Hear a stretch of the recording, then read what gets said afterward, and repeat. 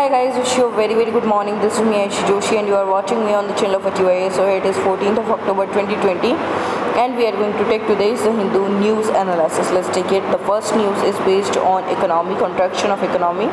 Indian economy to contract by 10.3% this fiscal year says International Monetary Fund. What it is?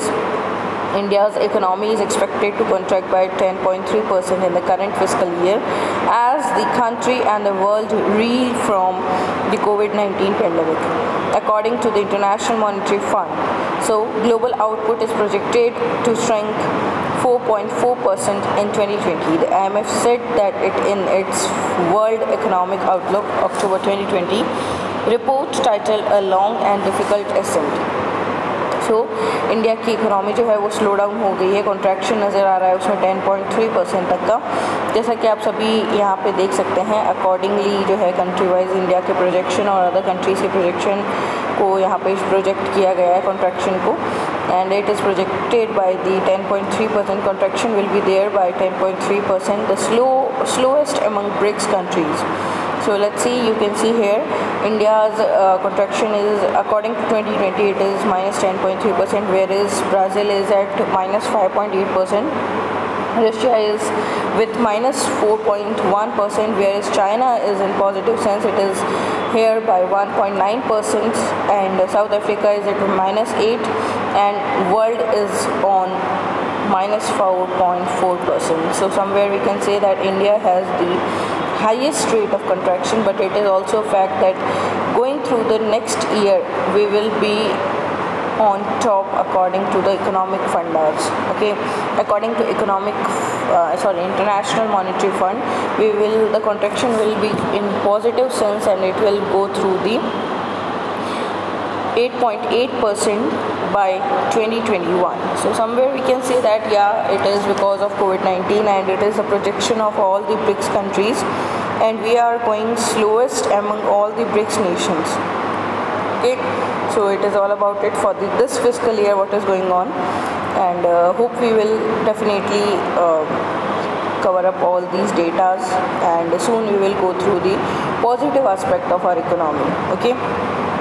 The next one is after talks fail to break impasse, China blames India for tension. जिस तरीके से बातचीत हुई और बात, बातचीत के दौरान सारी चीज़ें जो है बिल्कुल सही नहीं हो पाई है। फेल हो गई है कमांडर लेवल टॉक्स जो भी रिसेंटली चुशुल में हुई थी ईस्टर्न लद्दाख के अंदर। जो कॉप्स कमांडर की हुई थी उनके बीच की जो टॉक्स थी मैराथन टॉक्स, वो कहीं ना कहीं नेगेटिव वे में जा चुकी है। और उसी के चलते क्योंकि पॉजिटिव रिज़ल्ट या पॉजिटिव आउटब्रेक नहीं देखने को मिला तो चाइना ब्लेम कर रहा है इंडिया को इन सारी टेंशनस के लिए जो अभी as of now figure out हो रही है। बीजिंग ने पॉइंट आउट किया है। Infra development and deployments by China along with L L के एरिया के अंदर इंडिया द्वारा जो डिप्लॉयमेंट हुआ है, या इंफ्रा डेवलपमेंट किया जा रहा है, उन सभी को ब्लेम करते हुए, उन सभी को पॉइंट आउट करते हुए बीजिंग का या चाइना का ये कहना है कि जो भी घटनाएँ घटित हो रही है इस लेवल पे, वो सारी घटनाएँ किसके कारण हो रही है? इंडिया के कारण हो रही है। ठीक है? In Beijing's most high profile criticism so far for the quite basically आपको ये चीज़ पता होनी चाहिए कि चाइना जो है, एक ऐसा कंट्री है जो दूसरे देशों के बीच संबंधों को, अच्छे संबंधों को वहन नहीं कर सकता। उसे लगता है कि जितने भी कंट्रीज़ के अच्छे कंडीशन अच्छे रिलेशन होंगे, वो मेरे साथ होंगे। अन्य देशों के स्पेशली इंडिया के साथ में तो वो बेयर कर ही नहीं सकता। और क्वाड कंट्रीज़ के बीच में अच्छे रिलेशन होना, जिसमें यूएस और अन्य पावरफुल कंट्रीज़ है, उसके साथ में भारत के अच्छे रिलेशन होना, अपने आप में चाइना के लिए सबसे बड़ा, हम कह सकते हैं टेंशन का पॉइंट बना हुआ है। So somewhere this is all about that how China is reacting China का ब्लेम करना इंडिया को चाइना का इंडिया को पॉइंट आउट करना, ये सारी चीज़ें सिर्फ़ किस किस कारण से हो रही है? इंडिया और इंडिया अन्य जो नेशंस हैं, जो क्वाड के हिस्सा है क्वाड से संबंधित हैं, उन सभी के प्रति चाइना का जो दृष्टिकोण है, उन सभी को देखते हुए या उनका जो एक नेगेटिव एस्पेक्ट है चाइना का, वो देखते हुए कहीं ना कहीं चाइना इंडिया को जो है अपोज कर रहा है या ब्लेम कर रहा है, जो भी घटनाएँ एल पर हो रही है उसके लिए। और इवन इसी कारण, उम्मीद है कि इसी कारण चाइना ये सारी कंडीशंस को सॉर्ट आउट भी नहीं करना चाहता। सेवन्थ जो है कमांडर लेवल टॉक हुई है मैराथन टॉक हुई है और बहुत सारी चीज़ों पर डिस्कशन हुआ है, लेकिन उसके बावजूद भी चाइना चीज़ों को ठीक नहीं करना चाह रहा, किसी तरीके का कोई सोल्यूशन नहीं निकालना चाह रहा because they just don't want to solve the problems, they don't want to solve the issues, they just don't, they just only want to point out the india, okay? So it is all about it the next is all about a slim stimulus recently our finance minister Nirmala sitaraman gave us a fresh set of measures on Monday to spur consumer demand consumer demand को बढ़ाने के लिए और capital expenditure को include करते हुए interesting way में उन्होंने एक अच्छा सा स्मॉल सा छोटा सा स्टिमुलस पैकेज अनाउंस किया है and L T C allowances of government employees has also been tweaked और design in this particular stimulus her reckoning Her reckoning is that these would lend uh, a 73,000 crore demand spurt to prop up the ailing economy in the second half of this year. This could rise beyond rupees 1 lakh crore if private sector employers offered, offered similar LTC incentives with industrial output slipping for the sixth month in the row in October, August. The clamor of for new stimulus measures had been growing ahead of a particularly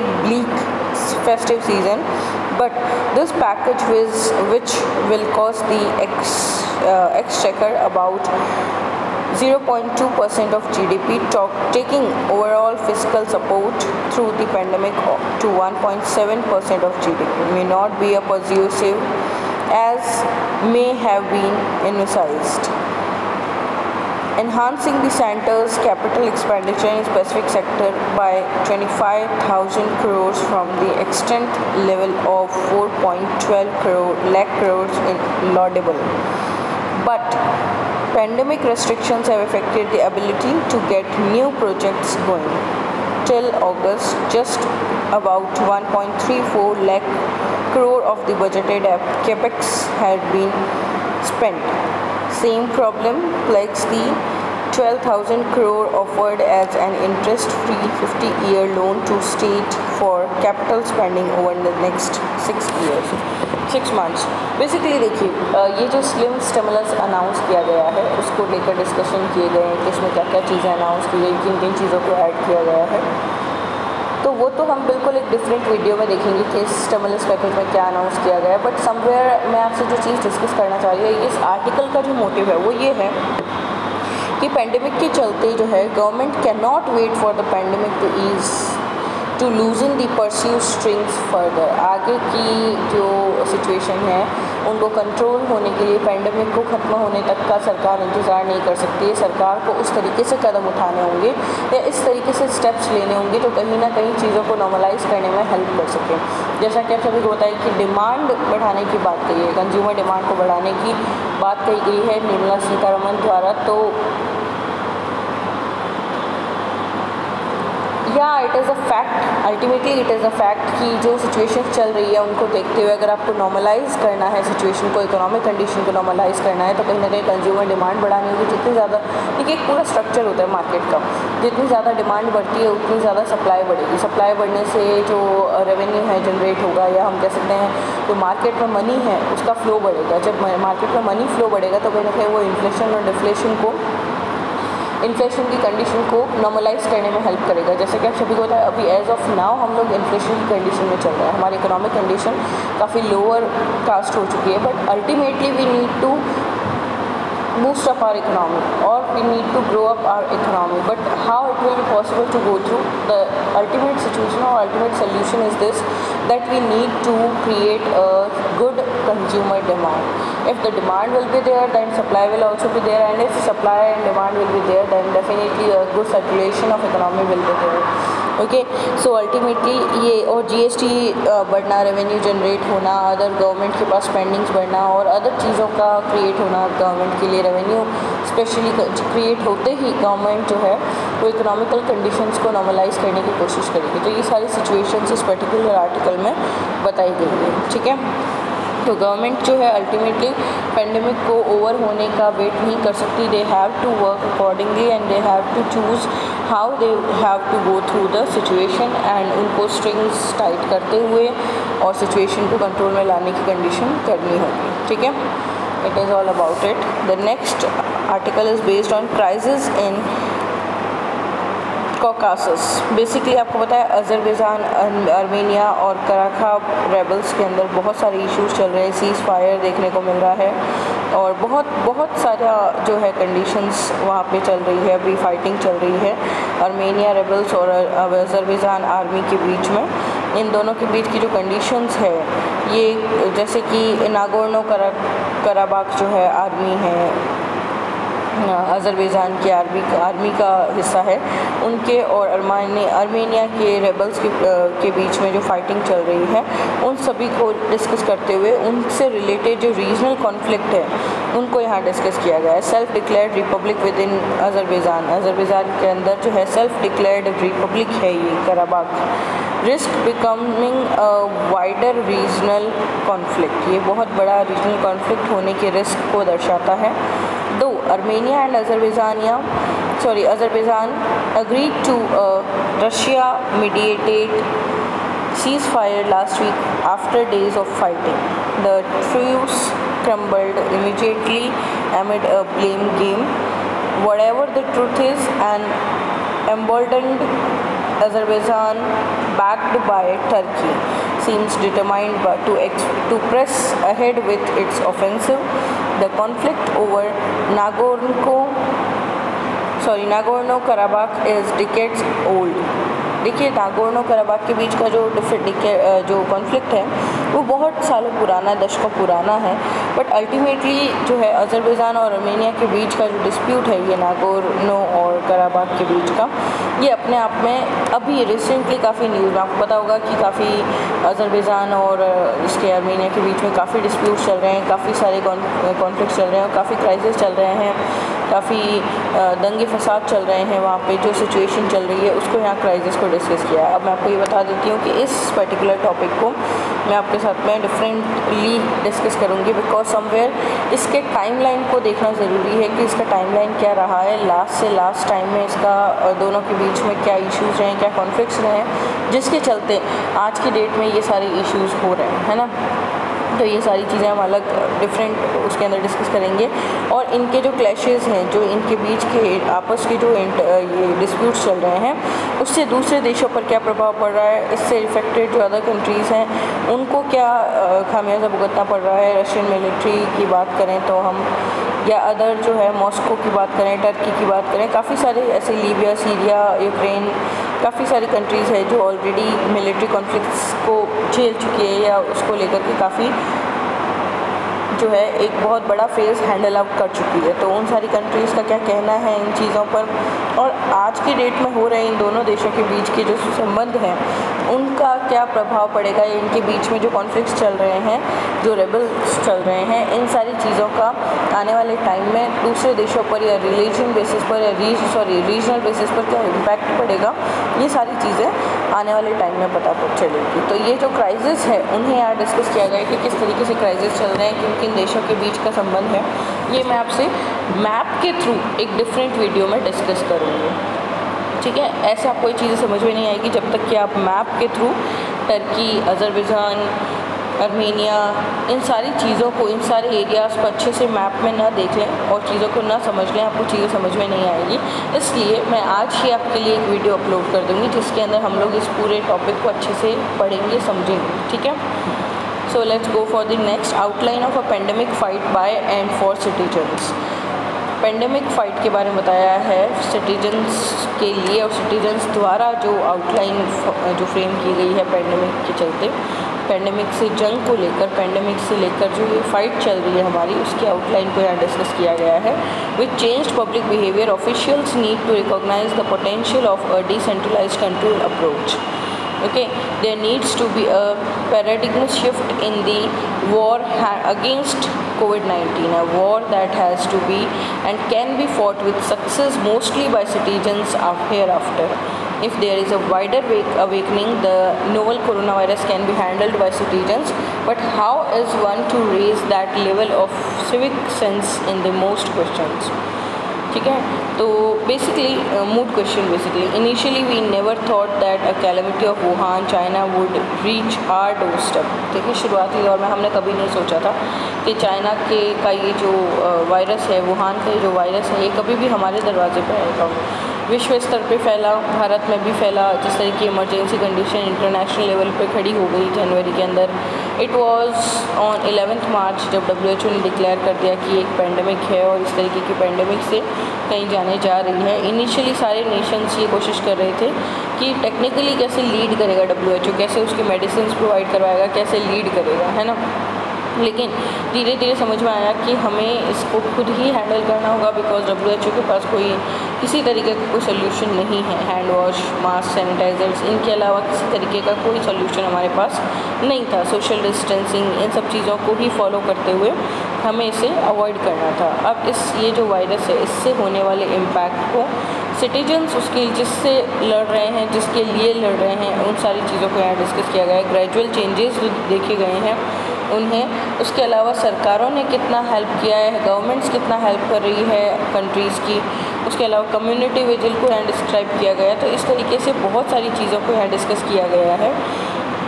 तो जिस तरीके से public behaviour change हो रहा है officially हमें इसको recognise करने की ज़रूरत है पोटेंशियल को रिकॉग्नाइज़ करने की ज़रूरत है और कंट्रोल करने के लिए, इस प्रॉब्लम को कंट्रोल करने के लिए अप्रोच करने की ज़रूरत है। ठीक है?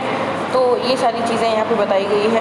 इस पेंडेमिक की जंग को लेकर के सिटीजन्स के द्वारा या सिटीजन्स के लिए जो एफर्ट सरकार या अन्य संस्थाओं या अन्य देशों द्वारा डाले जा रहे हैं, उनका लोगों पर क्या प्रभाव पड़ रहा है और लोगों द्वारा किए जाने वाले प्रयासों से सरकार पर क्या प्रभाव पड़ रहा है, ये सारी चीज़ें यहाँ पर डिस्कस की ठीक है? तो नेक्स्ट हम लोग डिस्कस करते हैं next article the Arab world and the elusive state two-state solution. Arab world in a geopolitical sense no longer exists. The PLO leadership may have to think of a one-state solution. Words have meaning that are used and misused का जो words use या misuse किए जाते हैं उनका कहीं ना कहीं कोई मीनिंग होता है कुछ हफ्तों पहले किसी ने कोई evident with evident limitations fulminated against a category of faiths depicted as Abrahamic. Okay around the same time Abrahamic जो थ्योरी है, जो फेथ है, उसके ख़िलाफ़ जो है काफ़ी आउट ऑफ़ लिमिटेशंस या एविडेंट लिमिटेशंस के थ्रू जो है फिल्मिनेटेड आर्टिकल्स या एविडेंट पेश किए थे। उसी समय the global media gleefully proclaim the newly minted Abraham Accord Abraham Accord जो है न्यूली मिंटेड उसे सोशल मीडिया जो है ग्लोबल लेवल पे मीडिया काफ़ी खुशी के से मतलब ग्लेफुली प्रोक्लेम कर रही थी उस चीज़ को and happening of political significance both expression sought to trace it to the proper name, Abraham and a patriarchal name. So, ultimately, who flourished in the second millennium BCE is revered by the three religion Judaism, Christianity and Islam इन तीनों religion के basis पे patriotism या Abraham की जो theory है उसे flourish किया गया था। And those followers today account for a little over 55 percent of the world population और ये जो फॉलोअर्स हैं अब्राहम थ्योरी के, इसके जो फॉलोअर्स है वर्ल्ड लेवल पे बहुत कम I mean I can say 55 percent of population is according to the this theory और the follower of these theories okay mention also made alongside of a group of languages as Semitic principally Arabic Hebrew Amharic and अरमेन sorry Aramaic okay? So Aramaic basically. And it is the group of languages which are here तो ultimately इस पूरे जो हम कह सकते हैं, इस पूरे आर्टिकल के अंदर अरब वर्ल्ड को डिस्कस किया गया है। अरब वर्ल्ड की जो जियो पोलिटिकल सेंसेस हैं वो जो ज़्यादा एग्जिस्ट नहीं कर रहे हैं, उन्हें यहाँ डिस्कस किया गया है पीएलओ लीडरशिप को यहाँ डिस्कस किया गया है और one two state solution the elusive of two state solution with only one state domination को यहाँ डिस्कस किया गया है, ठीक है? तो it is all discussed here a way out and what is the Palestine issue what is the public opinion versus what the policies say it is discussed here. And uh, what is the way out of it? So it uh, these all points have been discussed here in this particular article by Hamid Ansari. Hamid Ansari is the former vice president of India and uh, he was former vice president by 2007 to 2017 okay? So it is all about the arab world and the uh, elusive state of all these uh, um, solutions okay? So we have discussed what it is here the next is about uh, motivation or about a quote that true knowledge exists in knowing that you know nothing असलियत में आप कुछ नहीं जानते हैं, यही आप सब कुछ, यही है सब कुछ जानना। वास्तविकता में जो इंसान ये कहता है, मैं सब कुछ जानता हूँ, उसे कहीं का नॉलेज नहीं होता। लेकिन जो इंसान ये कहता है कि मुझे कुछ नहीं पता तो वो उसकी कोशिश रहती है, वो और भी कुछ सीखे।